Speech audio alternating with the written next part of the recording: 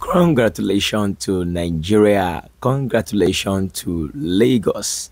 Congratulations to Dr. Alinko Dangote as we launch the first PMS third week of July 2024. And congratulations to real estate investor in the corridor of Ibejuleki for all investor who owns property within this axis of Dangote refineries and for all prospective clients who still desire to own something within the corridor of Ibejuleki.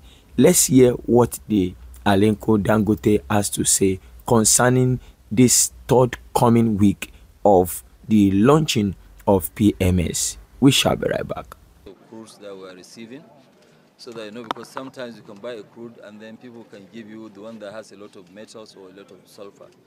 Uh, but the most important is this that because we know mainly West Africa is a home for dumped bad fuel, bad petroleum products.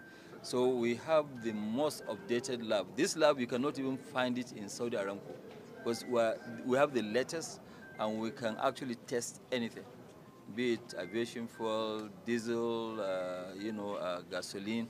We can test everything, kerosene, and it will give you actual time. The longest test here will take you only 30 minutes, and you have the result automatically, you know, coming into the system. So this will actually stop arguments. You know, like us now as a company, uh, Dangote Cement, because we use a lot of diesel, we use about 50 million uh, liters every month.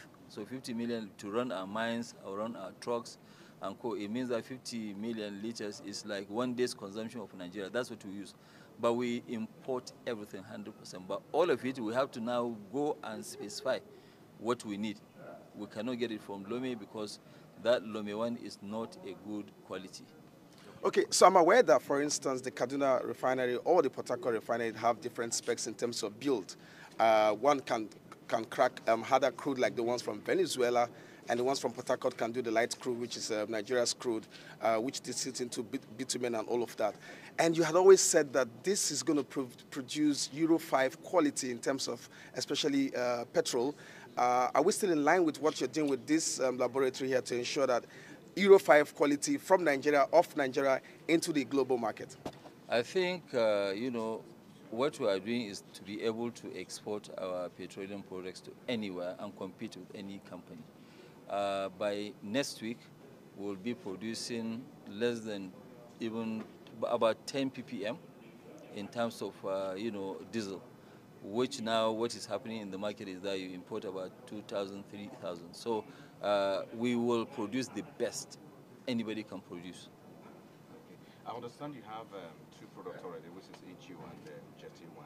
When are we start going to see um, PMS out there? When are you pushing them? PMS, we, it will start coming out by, we had a bit of delay, but it will start coming out by 10th, 15th of, uh, you know, July. But then, you know, we want to keep it in the tank to make sure that it settles. By third week of July, we'll be able to take it into the market. Okay. Even by middle of July.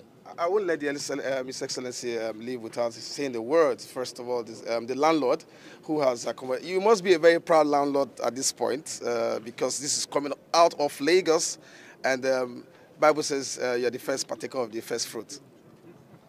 Well, thank you, and that's why I need to also thank yes um, all of them, but to really um, commend um, the initiative and the vision, you know, of, of this whole complex. I've been here several, several times, and each time it just marvels, you know, one's mind and heart as into the power of possibility. You know, it's not just, it wasn't just a dream, you know, on the shelf. It's reality, it's put on the ground. And so for me, it's the economic, you know, um, independence that will give not only um, Dangote refinery, but all of the businesses around and the country in whole. So when we talk about economic development, you know, social economic development, this is what you see. And I'm happy that we've seen young Nigerians, you know, being taking us right around some of these facilities. And over time, they'll become not just industry experts, they'll become world experts, you know. But the bottom line is that, you know, all of the possible spin-offs, we've not even seen anything already. There'll be loads and loads of spin-off businesses, you know, um, um, um, um, spin-off companies that are going to live off this, this facility. And so for the next half a century, we'll still be, you know, we'll still be thankful of this very big vision that we have here. You know, and for me, um, it's not about Lagos, it's about our country. You know, it's about, you know, um, where, you know, we all believe, you know, should be the right thing to do. And like I keep saying, you know, Alaji took the right step, and we're indeed happy and excited that he's taking it and he's taking it very seriously. Your Excellency, 650,000 barrels a day. That's what this um, refinery is pressed because you have come at almost at the completion stage and the products are already coming out. Well, for me, just to say congratulations, not just to Aliko Dangote GCON, not just to the governor of Lagos State, my brother Sanwo-Olu, that this is happening in his time. And I, I, would like to congratulate the president of Nigeria, who himself laid the foundation for the industrial growth of Lagos, and congratulate all Nigerians for what we are seeing here today. But his uh, adherence to quality is what impresses me. The laboratories I've seen here, and even the explanation from the social media that Belgium has finally realized the need to ban the, uh, the exportation of bad fuel from their country to Nigeria, to West Africa as a whole.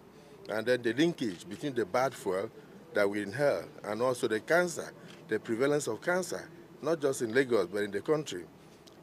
Total eye-opener. And I, I just want to say the souls of all those who died as a result of West Africa being a dumping ground for European fuel that they couldn't consume in their country, rest in peace. And I want to thank Aliko Dangote for what you are doing. You are saving the future.